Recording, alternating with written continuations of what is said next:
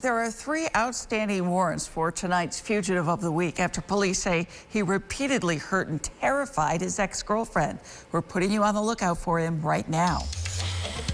33-year-old Maurice Taylor is wanted by sheriff's deputies, Camillus and Syracuse police.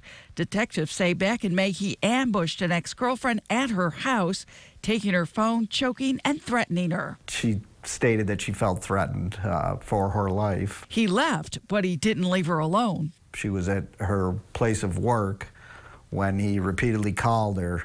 Uh, at this point, she revealed both incidents, and uh, the Syracuse police and the Camillus police both applied for warrants. For criminal contempt and violating his probation. We have been unable to locate Mr. Taylor anywhere in the city. So I'm asking the public's help. Like I said, I believe he's dangerous and he's a threat to the people around him. Maurice Taylor is 5'11 and 175 pounds.